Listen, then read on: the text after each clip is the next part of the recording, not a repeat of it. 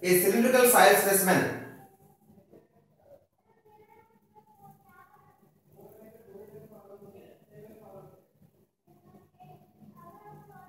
A cylindrical soil specimen of saturated clay.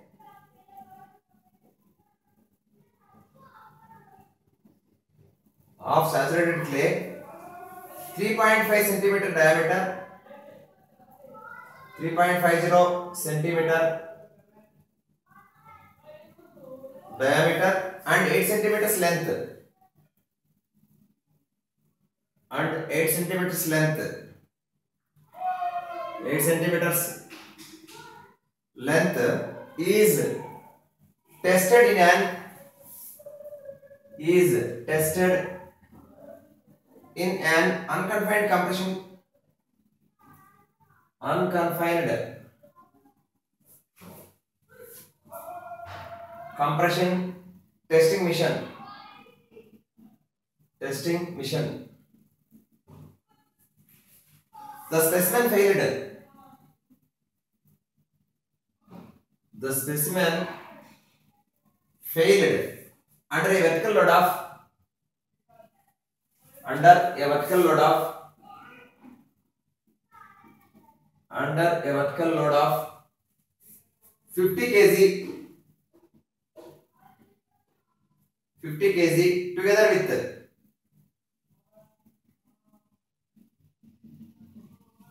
together with an accompanying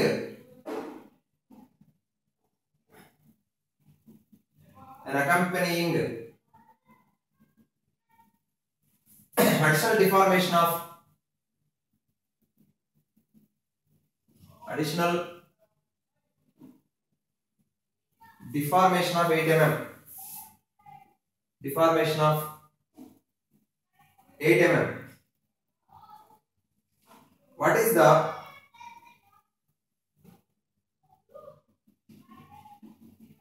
what is the unconfined compression strength of the clay?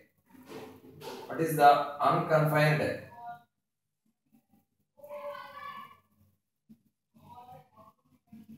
compression strength of this clay strength of this clay options. 4.67 kg per centimeter square. Option b 5 kg per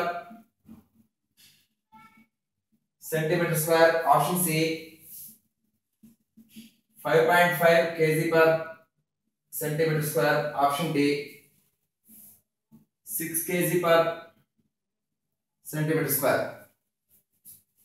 We know due to the deformation of this soil specimen in vertical direction the area will increase. So cross section area will increase. That means we know strain strain equal to change in length by length. What is the change in uh, length? 8 mm.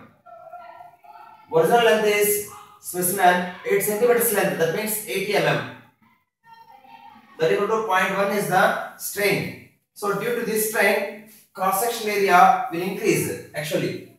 Actual area area of the cross section equal to what is 3.5 centimeter means 5 by 4 into 3.5 square. That is the area. But corrected area we can calculate. Corrected area equal to formula a divided by 1 minus epsilon.